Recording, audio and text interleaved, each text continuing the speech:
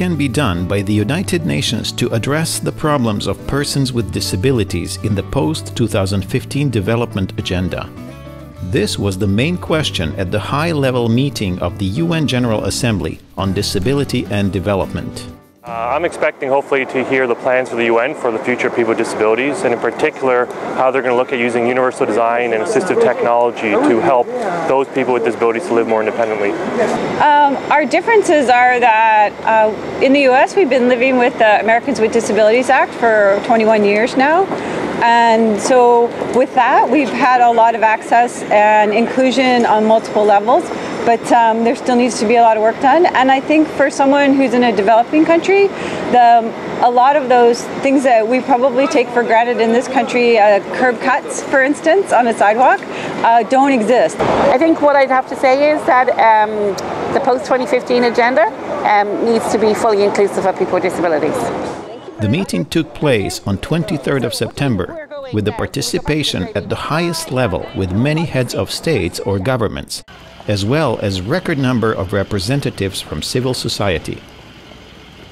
After the opening session, the two roundtables focused on regional cooperation and partnership for disability inclusive development, as well as the disability within the context of the post 2015 development agenda. Eu nasci com a deficiência auditiva e visual, porém quando era pequeno não era tão grave.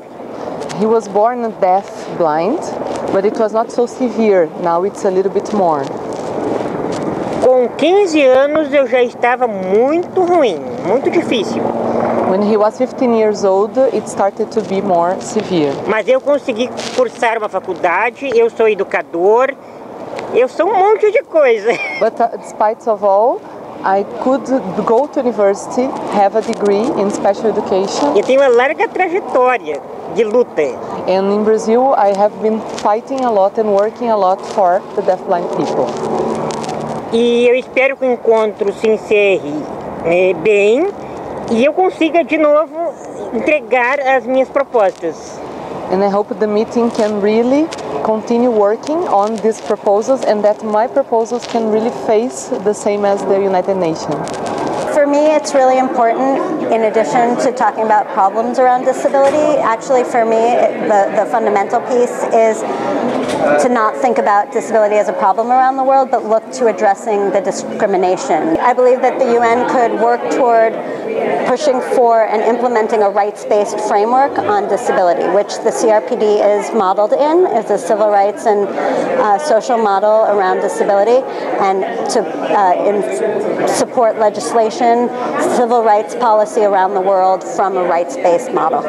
Government, you know, we need to do more. I, I don't want to say government. Government, we need to do more. We have to remember about, we have to always remember that these people are there and they're useful, they can be productive, and they are productive.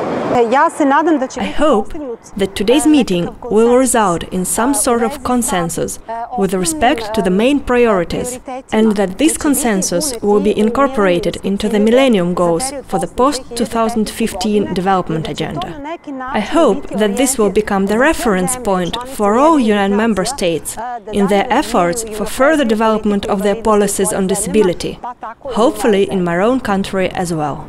Participants from the civil society will most certainly be pleased that the outcome document addressed many of their concerns. The document underlines the importance of national legislation as well as policies such as education, healthcare, social protection, and universal accessibility. The outcome document also provides for follow up action, requesting the Secretary General to provide periodic reports and recommendations. Following the adoption of the Convention on the Rights of Persons with Disabilities in 2006, the high level meeting provided a significant boost in efforts to include persons with disabilities in the future we want.